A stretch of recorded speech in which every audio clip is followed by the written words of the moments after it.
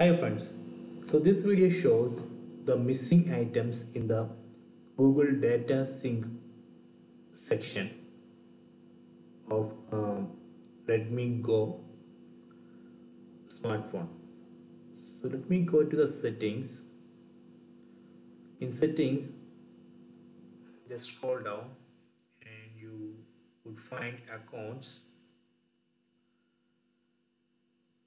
There we can see the Google account which you added. This is the account which I added. Let me select it.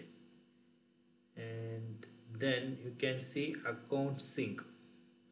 Tap on account sync. So there you can see the items which actually enabled for auto data sync.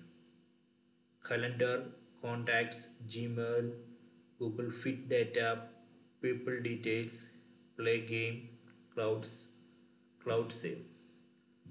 So you can see that Google Drive and Google Keep Notes are missing in this section. The Redmi Go smartphone using Android Go edition. Actually this Android Go edition is designed to work in a low level smartphones. So it it optimized uh, android op operating system play store and uh, google apps. I think as part of that optimization i think they have removed this google drive and google keep notes sync from this account sync section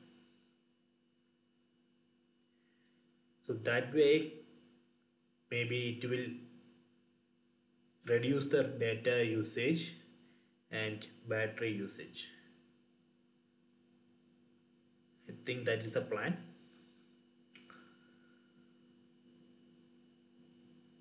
So you will not get the updated files from your Google Drive into your phone I think and also the same for Google Keep Notes.